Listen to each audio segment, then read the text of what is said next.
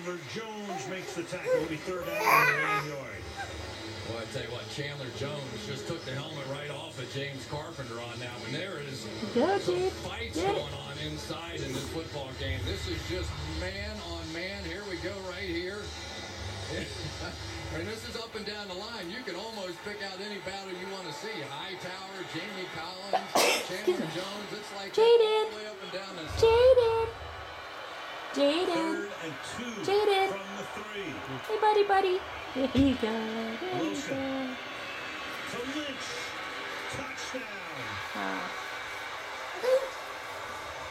Jade. Marshawn Jade. Lynch, led the league in touchdowns this season with 17. 13 on the No. ground